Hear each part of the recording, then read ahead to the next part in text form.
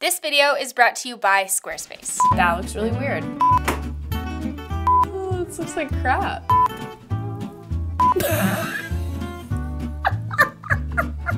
I don't know, I might use this.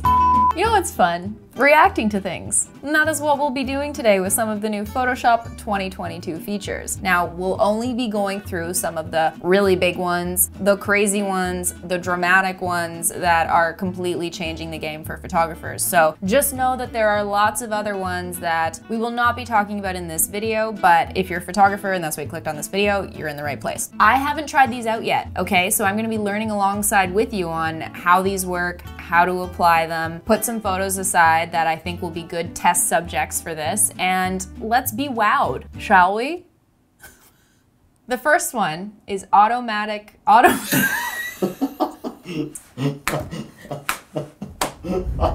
All right, the first feature we're gonna go through is called automatic selections on hover. Do you like that I keep saying automatic? In my mind, there are two subjects in this image. We have the lighthouse and we have me. So from what I've seen so far, I have to find the object selection tool, which looks like this. Please click that. Then as you hover, you hover over the different subjects in your image, it will highlight them, and it is doing that. Yay!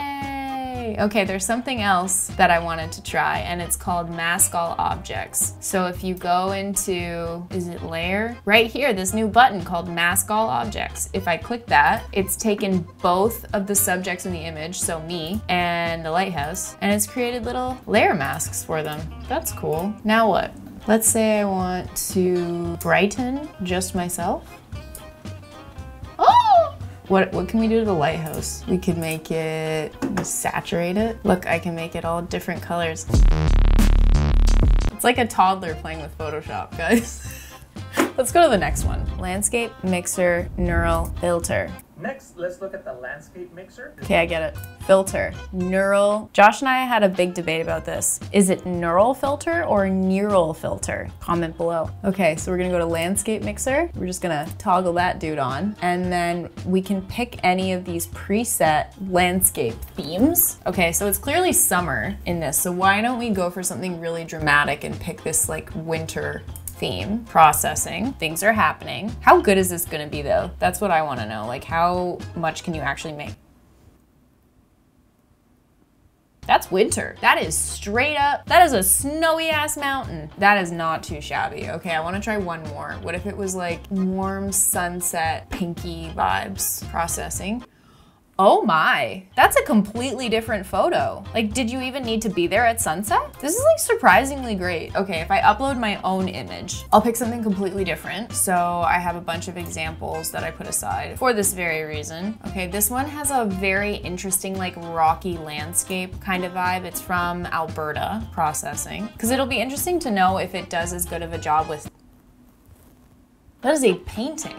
That is a straight up something funky is happening with the cloud over here. But if you look past that, I could upload this and literally no one would know. They would just think I like put some cool effect on it or something. But honestly, some people edit their photos to look like that and this looks really cool. Like I would definitely upload that. There's a, there's a little bit of weird stuff happening in the mountains up here. I'm also curious about if I raise this sunset slider, what happens? Okay, that doesn't look that good, but what if I bring it down more? All of this is, I know you have to wait for a minute, but all of this is happening like quite quickly, like quite fast. This became a sunset and like looks quite good. Cause what if you just used like the winter slider?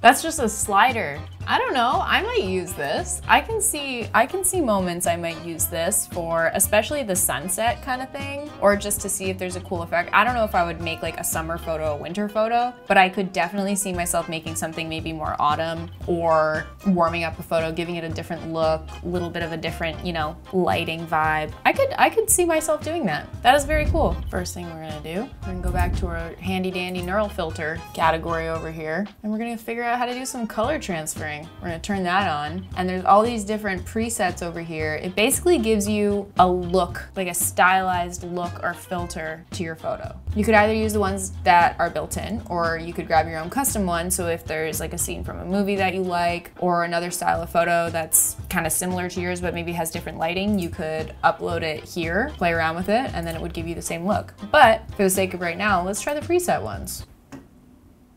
That looks really weird. That did not work at all. Let's try a different one. What about this blue one? Blue feathers.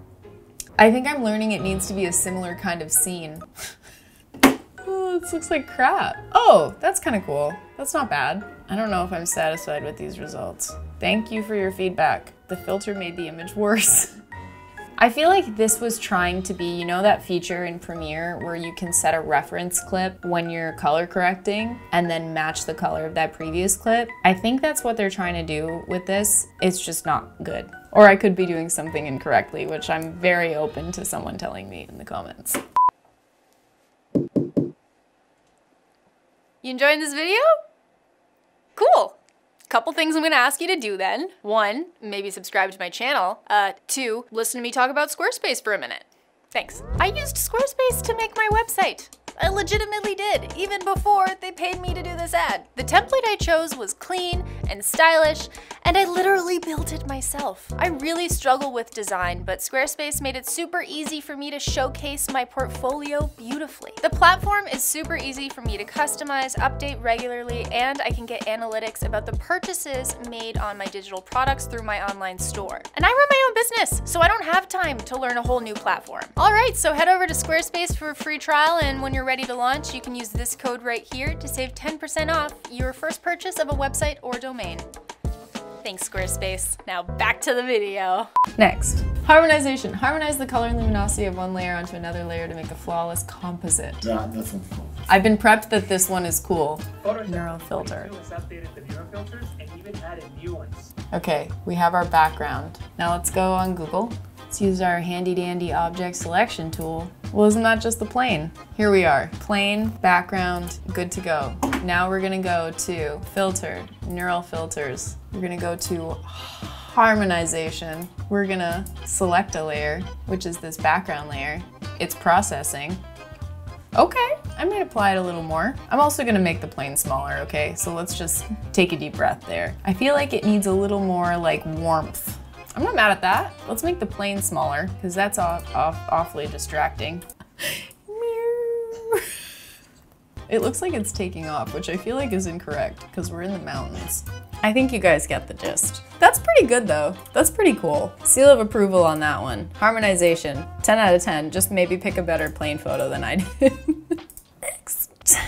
Okay, so there's a couple new features. Well, they're not that new. They're 2021 new, so they're not 2022 new, but I haven't really played with them yet. So I thought it would be fun since the purpose of this video is to react to things. I'm doing a really bad job at importing photos, but like, do we care? Not really. So here's a picture of my face, and we're gonna use the neural filter that makes me happy or sad or old or young, because I thought that would be funny to try. Okay, so let's try. That is my face. Good job, Photoshop. Just a little happy. Processing in the cloud. Why did my why did it do that to my woman? What if I'm really happy? Think you should see it. I'm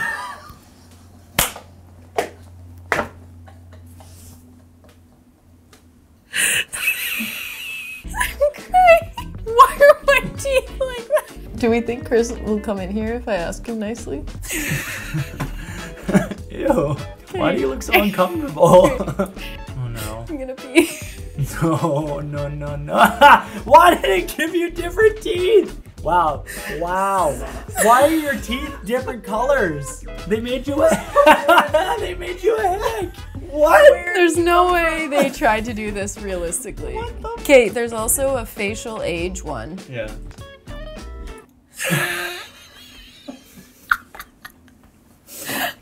You're still really pretty though. Okay, here's the best one. You can change your eye direction, so I'll look. Eye direction. Why? it's so creepy.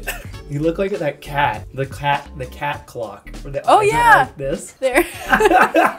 well, some of these features were great. Some of them I probably will never use. But with that said, I think the landscape mixer, definitely a top 10 for me. The harmonization, very cool. Could definitely see that being applicable and making things just a lot more, a lot easier to use and a lot more intuitive for people who aren't good in Photoshop. Me. Thank you all for watching today's video. If you liked it, please give it a like down below, subscribe if you're not already, and hit the notification bell to get notified for all future videos. Big thanks to Squarespace for sponsoring today's video, and I will see you in the next one.